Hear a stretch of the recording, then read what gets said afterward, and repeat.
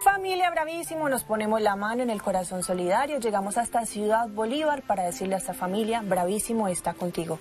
Don José, Teresa, bienvenidos a nuestro programa. Gracias. Muchas gracias. Bueno, don José, cuéntenos y cuéntale a toda la familia Bravísimo cuál es su situación actual, cuáles son sus condiciones económicas.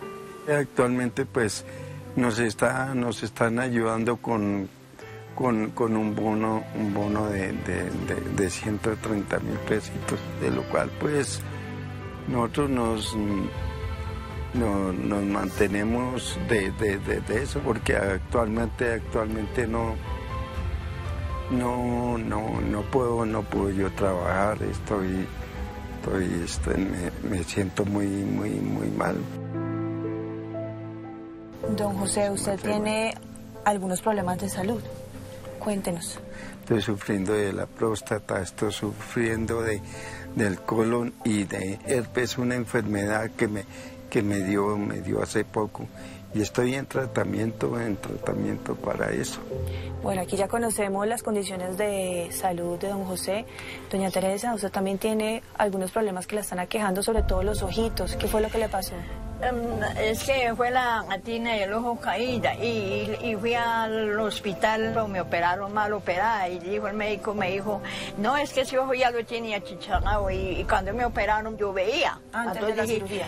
¿Cómo ve usted en este momento? En ese momento pues oscuro. Doña Teresa, ¿cómo se siente usted ahora después de una cirugía que era para recuperar la visión, haber quedado en estas condiciones? Pues mal porque, porque uno aspira a quedar bien uno, pero resulta el caso que, que fue mal. No he podido recuperar mi ojito por, porque los médicos no, no, que no hay agenda y que no hay agenda. Doña Teresa, las condiciones de esta casita son bastante extremas, difíciles. ¿Qué pasa cuando llueve? ¿Se les mete el agua? Pues se nos mete el agua y, a veces allá en la calle también se viene para acá el agua y entonces pues nosotros no dormimos porque saque agua con baldes y todo eso. Sí. ¿Y les toca hacer eso solitos? Sí, nosotros solos porque ¿qué? a veces hay un vecino que viene y nos colabora. Con la poquita plata que les entra a ustedes de este bono, ¿qué alcanzan a comer? ¿Una vez al día? Una vez al día porque no, alcanza para más. Pues por ejemplo hacemos un, a veces hacemos un sudadito, así a veces compramos unas alitas o hacen menudencias porque alitas están muy caras doña Teresa, don José, aquí estamos para hacer esa mano amiga y vamos a unir todas las fuerzas junto a la familia Bravísimo.